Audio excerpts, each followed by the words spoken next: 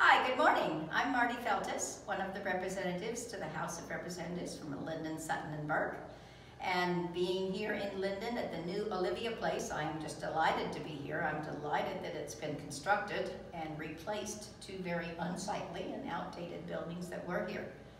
This affordable housing will be a big boon for our area. There are 20 apartments. I have toured them and they are very nice, very well laid out. Lots of windows, I like that. Lots of sunshine coming in.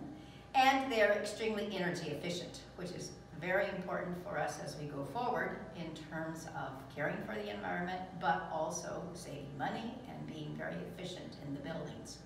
So I'm delighted to see this new building and the two buildings, 20 apartments in all, going up.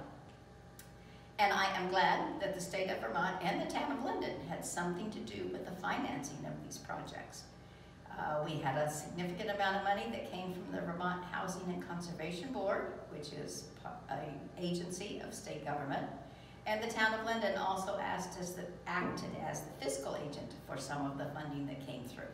And of course, Efficiency Vermont, being a quasi-governmental agency, was extremely instrumental in putting together the whole building project and the financing for the energy rebates.